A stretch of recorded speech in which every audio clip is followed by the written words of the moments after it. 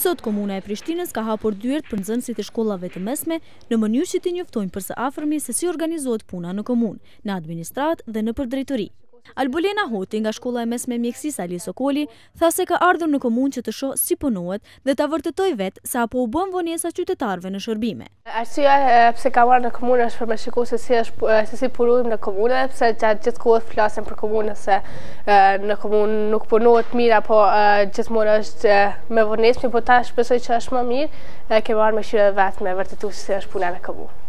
Kryetari i Komunës së Prishtinës, Shpend Ahmeti, i informoi nxënësit për rolin dhe përgjegjësinë e komunës. se ne jemi pika e parë e vend takimit në mes të qytetarëve, ku pika e parë e referencës kur keni ndonjë problem është komuna. Kjo neve na bën me thonë punën e kryetarit të komunës e bën punën ma të vështirë që mundesh me pasë në politikë. Ai shtoi se kryetari i komunës dhe komuna në përgjithësi,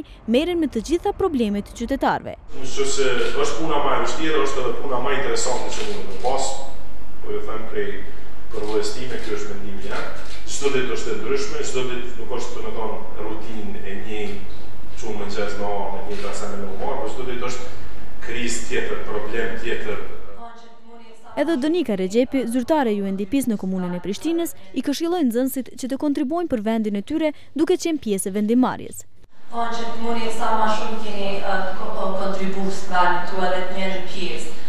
Aktiviteti Dita e Hapur e Komunës u organizua nga Komuna, ndërsa u mbështet nga UNDP-ja dhe Swiss Cooperation Office Kosovo.